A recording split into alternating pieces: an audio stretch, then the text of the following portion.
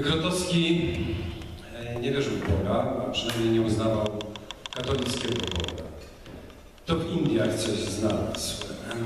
Spotkał tam starego mnicha, który go zapytał, czy jest chrześcijaninem. A on odpowiedział, że jego rodzina jest katolicka, ale on nie wierzy, że Jezus to Bóg. A ten stary mnich mu opowiedział, że Jezus nie pytał swoich uczniów, czy we mnie wierzysz, tylko czy mnie kochasz. Zapewne Państwo pamiętacie, Grotowski wrócił kompletnie odmieniony. Stracił 40 kg, zapuścił włosy, brodę, zdjął garnitur, ciągnął okulary, dorzucił teczkę, aktówkę, a założył dżinsy, dżinsową kurtkę, sandały jezuski. Nikt go nie rozpoznał. Nikt nie wiedział, kim on jest. To kogo spotkał na pustyni? Czarownika, derwisza, może jogina? Czy węża, jak Jezus?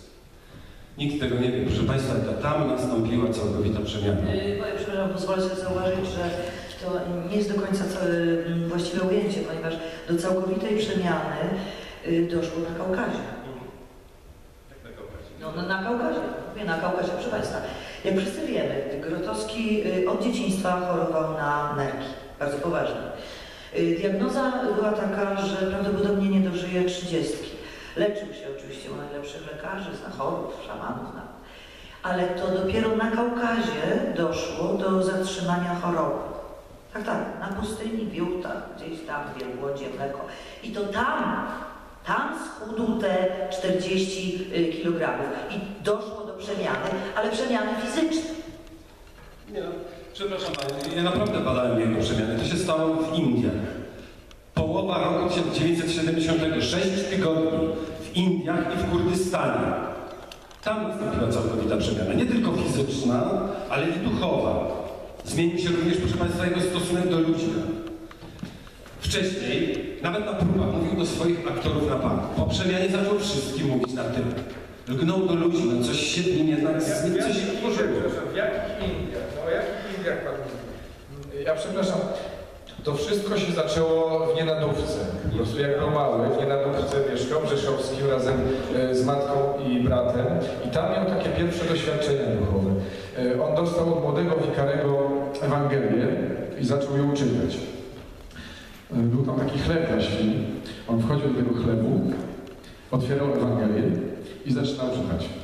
I on sam mówi, że to było jego pierwsze inicjacyjne doświadczenie związane z chrześcijaństwem.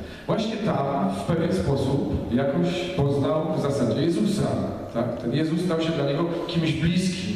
I właśnie tam to się zaczęło. Oczywiście niektórzy badacze twierdzą, że w Stanach Zjednoczonych mm, nastąpiło jakieś coś tam się w nim przełamało w Central Parku, nastąpiła jakaś taka zmiana, to miało związek zupełnie z czymś cielesnym, a nie duchowym. Natomiast ja uważam, że w tej nienadówce, y, w tym chlebie dla świn, y, z widokiem na pagórek, który mu przypominał wzgórze ukrzyżowania, on tam miał pierwsze religijne doświadczenie.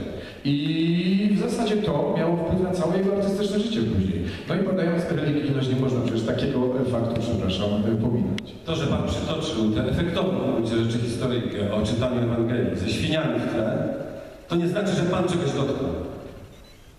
Ja dotknąłem, proszę Pana. Ja byłem już blisko. Nie wszedłem. Przekroczyłem pewną granicę. I wiem, jakiego rodzaju to są koszty. Stamtąd można nie wrócić. Albo jak się wraca, to się wraca już jako ktoś inny. Ja mam nawet nagranie, film. I tam jest to moje najbardziej osobiste nagranie, tam jest to moje przekroczenie. Tam tego dotknąłem. To może by nam pokazał Pan to nagranie. Nie, przepraszam. Ale no, bo może by chcieli wszyscy zobaczyć, proszę Państwa, to nagranie, gdzie Pan nam przekazał. Nie, przepraszam Państwa, Ale może to jest, może to jest jakiś... no może nie tylko ja jestem ciekawy, ale wszyscy. A może to jest jakiś skrajny ekshibicjonizm? Ja tego nie pokażę. Nie. No ale proszę pokazać, przecież to jest ważne, przecież o tym właśnie mówimy. Uważam, proszę Państwa, że pokazywanie tego rodzaju doświadczeń jest trywializowaniem tego doświadczenia. Jest jego unicestwieniem.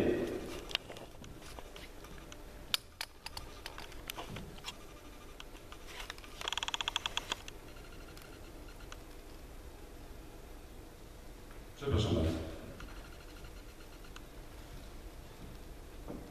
Nie zaglądaj tam. Nie zaglądaj tam. To się na was zemści.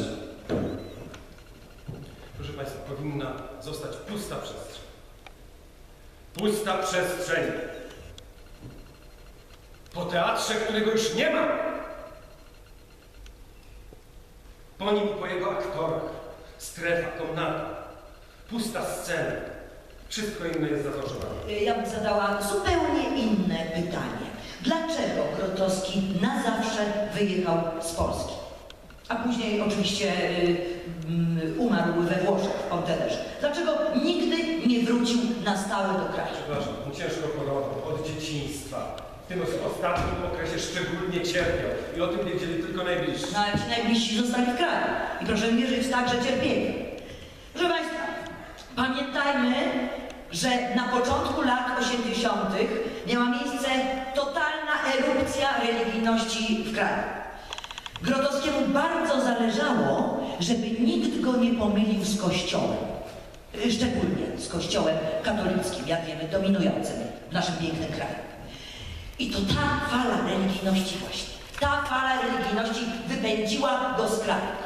No a później w Montederze to oczywiście stworzył sobie swój własny kościół, a właściwie zakon złożony z męskich wyznawców, ślepo skupionych na kontynuowaniu jego idei. Dziękuję. Przepraszam, teatr. Teatr, to był teatr, to była grupa badawcza, to był, to był teatr, proszę Pani. Ja wiem, istnieje pokusa, żeby się dowiedzieć. No nie wiem, ktoś nawet Ale- powiedział, że można urządzić seans spirytystyczny i wywołać duchy aktorów Grotowskiego. Tylko czy to jest bezpieczne? I czy my mamy prawo do tego? Ja nie mógłbym mówić. Mnie nie uposażono w odpowiedni język słowa. A zresztą nie chcę się w tej ziemi nie zaglądać tam. Po co tym mówić po tylu latach? Czego ty się chcesz dowiedzieć? Jakiego ty Boga chcesz dowiedzieć? Ale proszę, diaboliczne sytuacje, średniowiecze, mistyka, było całkowicie prozaicznie. Akt właściwy, akt całkowity odbywał się na scenie, a nie w życiu prywatnym. Cienka jest ta granica pomiędzy tym, co jest życiem, a tym, co jest sztuką. Ponieważ to jest taka sztuka, gdzie decyduje pytanie, jak żyć. I on przekroczył tę granicę, której nikt wcześniej nie przekraczał. On wykonał gest Fausta, dokonał aktu faustowskiego. Dlatego nikt nie może się czuć bezpiecznie. Nawet po jego śmierci. Ten, kto zawarł pakt z ciemnymi siłami nawet po śmierci ma niebagatelną moc oddziaływania. Dlatego ci, którzy próbują zniesławić jego dobre imię, niech siebie pilnują! Niech nie przechodzą podrusztowaniami, niech nie wchodzą w ciemne zaułki po zmroku, niech nie kryją się pod drzewem w czasie burzy. Niech nie próbują dowiedzieć prawdy. Bo nie wiedzą, czym jest prawdziwe bluźnierstwo. Niech już więcej nie pracują w teatrze, bo i tak nie wiedzą, czym jest teatr. I niech wyrażają skutkę. I to musi być szczere.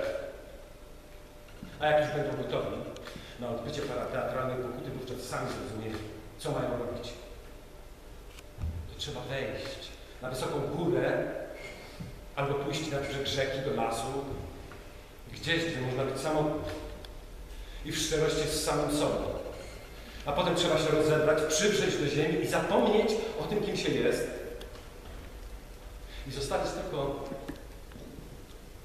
tego wewnętrznego człowieka. I czekać. I czekać. Czekać. I wtedy, wtedy jest szansa, że Grotowski przebaczy klątwę przed działać.